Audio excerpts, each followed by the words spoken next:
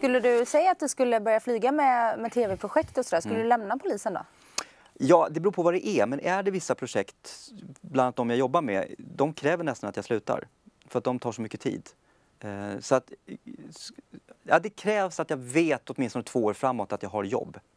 Så skulle jag kunna tänka mig att säga upp mig.